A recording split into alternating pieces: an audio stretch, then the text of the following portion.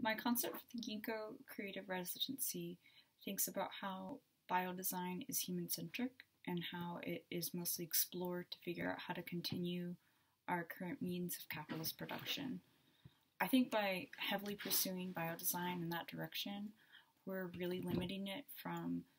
being able to tell poetic and beautiful stories and to become the design form that I think it really has the potential to be. So for my residency, I want to see what would it be to what it would be like if we deliberately designed organisms to be autonomous or being able to really function without our intervention. Um, so that might look like growing organisms and figuring out a way to design for them to vote and express whether or not they like being bioengineered. I think another way would be exploring regenerative medicine and seeing how cells can turn from one form to another and seeing what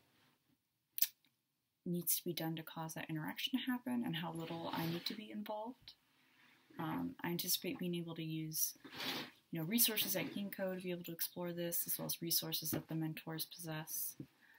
Um, and I think by exploring this concept and um, using a video to explore it, as well as figuring out design objects that can be generated from it, maybe like a sculpture or some textiles, uh, that it will be a really great conversation starter for the concept.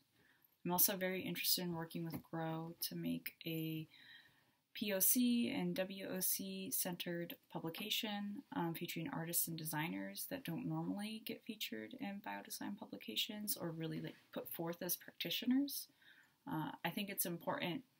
to develop a publication where they can be front and center and use resources that can Ginkgo to enable these individuals to make their best work that they can.